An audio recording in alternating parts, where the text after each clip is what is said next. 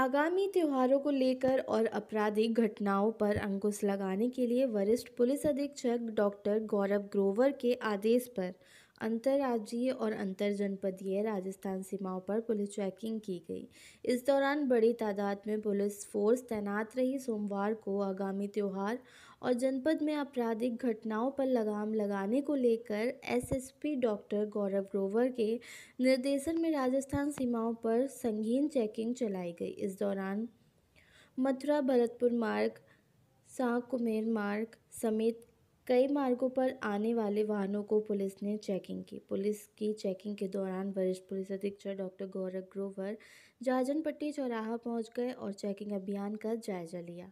SSP doctor गौरव ग्रोवर ने बताया कि आपराधिक घटना और आगामी त्योहारों को लेकर सीमाओं पर चेकिंग की जा रही है। प्रत्येक वाहन को चेक किया जा रहा है। पुलिस तैनात की गई है। इस मौके पर थाना प्रभारी शशि प्रकाश शर्मा, चौकी प्रभारी संतोष सिंह सहित अन्य पुलिस बल मौजूद रहा।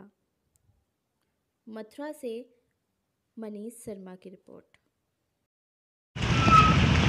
राजस्थान आंदोलन को लेकर कोई चर्चा की चर्चा का विषय बना हुआ था अपने शहर में? क्या कुछ मामला है? देखिए हमारे द्वारा जो हमारे इंटर डिस्ट्रिक्ट और इंटर स्टेट बॉर्डर्स हैं वहाँ पर त्योहारों को देखते हुए और विशेष रूप से किसी भी आपराधिक घटना को प्रिवेंट करने के लिए लगातार चेकिंग लगाई जाती है।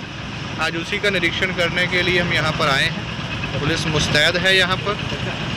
जो भी व्यक्ति कोई अराजक तत्व है या आपराधिक किस्म का व्यक्ति है उसकी चेकिंग की जा रही है। संदिग्ध वाहनों व्यक्तियों की चेकिंग की जा रही है।